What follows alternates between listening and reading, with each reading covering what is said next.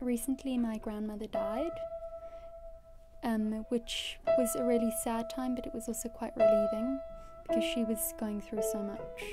Um, so she had this condition called macular degeneration, um, and she wasn't able to see for a very long time. So it started when she was about 70 years old.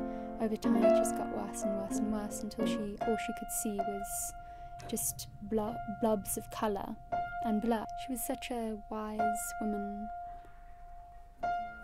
and it was a pity that she was so ups- ups- depressed about not being able to paint anymore.